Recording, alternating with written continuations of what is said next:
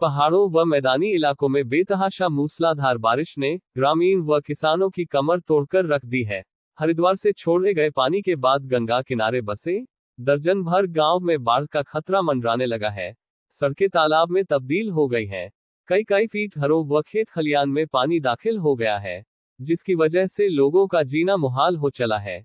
ये तस्वीरें हैं बिजनौर के नवलपुर व नारनौर इलाके की। जहाँ पर पिछले 24 घंटे से सड़कों, घरों व खेत खलियान में पानी दाखिल हो गया है। बच्चे बूढ़े पानी के सामने बेबस नज़र आ रहे हैं। चारों तरफ़ पानी ही पानी होने से ग्रामीण पशुओं के लिए जंगल से चारा भी लाने से डर रहे हैं। कहर टूटकर बरसे पानी ने लोगों का जीना मुहाल कर दिया है और इतना ही नहीं, किसानों की खून पसीने से तैयार की गई।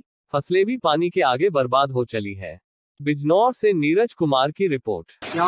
शायद साढ़े पाँच सौ है साढ़े पाँच सौ करीब आबादी है।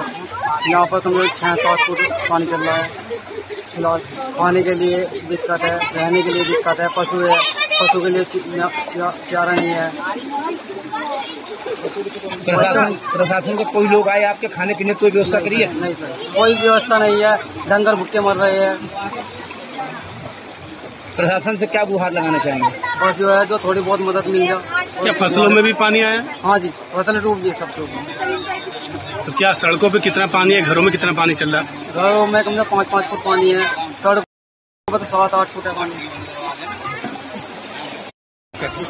नाम है मेरा सतीश जी क्या दिक्कत है गाँव में? कितनी आबादी है और क्या पोजिशन है? आबादी लगभग साढ़े पाँच सौ परिवार होंगे। आबादी है साढ़े पाँच सौ। जी। और जब से द्वार से पानी छोड़ा गया है। तब से यहाँ बाढ़ ही बाढ़ है प्रशासन से कोई मदद नहीं मिली खास मदद नहीं मिली लेकिन कोई देखने भी नहीं आया अभी तक।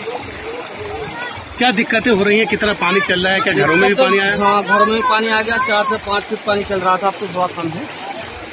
अब थोड़ा कम है लेकिन दिक्कत तो सारी चीज़ रहने की घर में बैठने की उठने की सोने की खाना बनाने की सारी दिक्कतों की परेशानी। प्रशासन ने आपके खाने पीने की कोई व्यवस्था करी आपने आपके अभी तक कोई व्यवस्था नहीं करी किसी तरह की कोई व्यवस्था कोई मदद नहीं मिली अभी